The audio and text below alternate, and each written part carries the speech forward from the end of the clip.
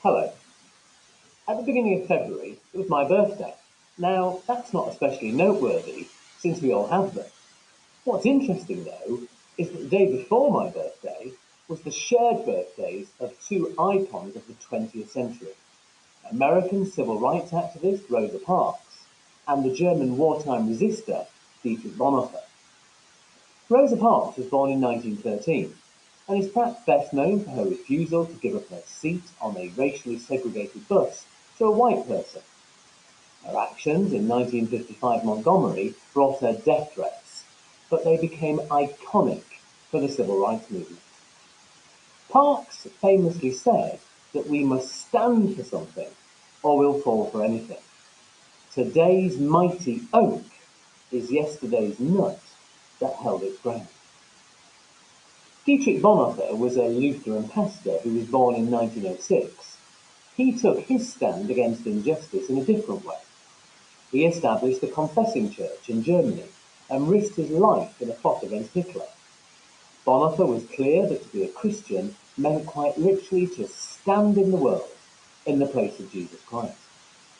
He believed that Christ lived and died for others, and as a result of this, Christians are called to carry out acts of responsible love that emulate Jesus' love. Bonhoeffer is well known for the faith that motivated his civil disobedience and his resistance to the tyranny of Nazism.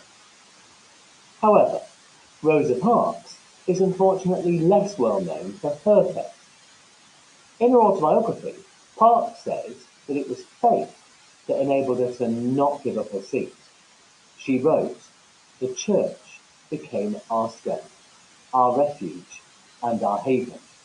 We would pray, sing, and use the scriptures, testimonies, and hymns to strengthen us against the hatred and violence going on around us. She knows the protection that God gives to the Israelites when they fled Pharaoh. She claimed that the Old Testament prophets in the Bible showed her another world in which justice reigned and intimidation and violence were defeated. What was powerful for her was that she could actually see, she could visualize that world. She wrote, I can see this world because it exists in small pockets. She also said, I want to be remembered as someone that God wanted to be free so that others could be free. Another less well-known fact is that Bonhoeffer was actually inspired by the faith of the black churches, like Rosa Parks. In 1930, whilst living in America, he worshipped briefly in the black churches of Harlem. There he heard powerful preaching about the Jesus who suffers with the oppressed and invites us to be responsible people who stand up in history. This impacted his life, writing, and actions. Very often, we build walls between religion and politics, and usually these are there for good and understandable reasons. But Rosa Parks and Dietrich Bonhoeffer are among the best examples of why those walls will always be porous, because the pursuit of justice is where these worlds intersect.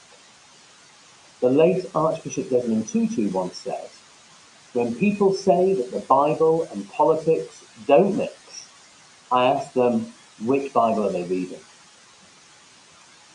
The shared wisdom of the lives of Rosa Parks and Dietrich Bonhoeffer is in teaching us that we need to think deeply and learn what to stand up to and what to stand or even sit down for.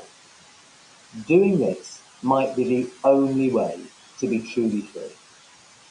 I pray that our lives would be inspired by theirs.